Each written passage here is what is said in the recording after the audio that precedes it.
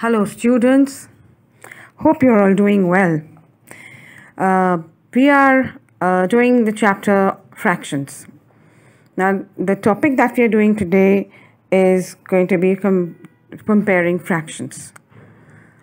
Comparing fractions is just finding out which fraction is greater and which one is a smaller one.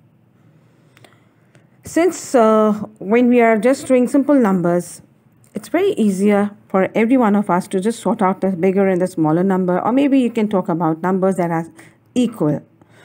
But when you're talking about fractions, it's a bit difficult to understand as to which fraction is greater and which one is a smaller one. So I'll be sharing a few tricks with you to make you understand how to sort out the greater fraction and the smaller fraction. So let's move ahead with the first question.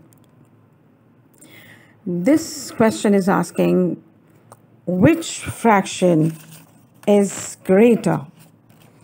Now, since the two denominators are same, so it is easier for us to find out the bigger number. The bigger number in these two fraction is 8. 5 and 8. Which one do you think is greater? 8. So 8 upon 7 is a greater fraction. Moving ahead with which fraction is smaller? Again, we have like denominators. So since they have asked us to find out which fraction is smaller, we have to compare 7 and 5. Of course, 5 is smaller.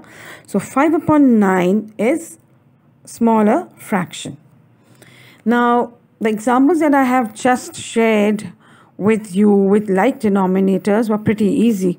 All right, it was quite easier for you to sort them out.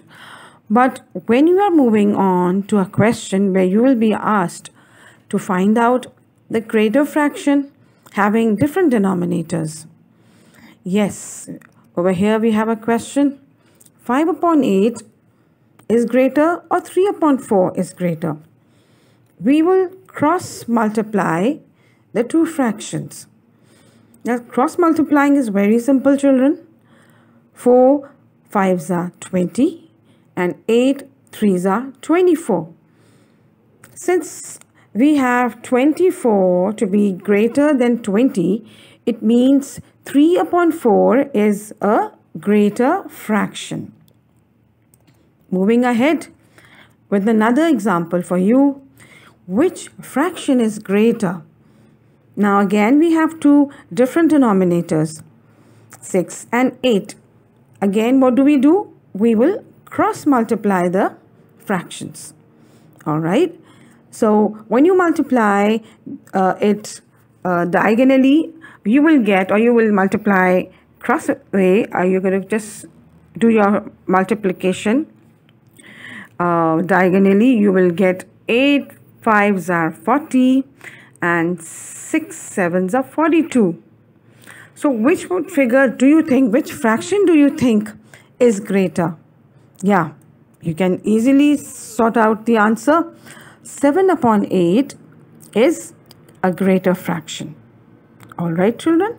Now, moving on to the smaller fraction. If in case you are asked about how to find out smaller fraction, you have two fractions given in here, 3 upon 4 and 2 upon 3.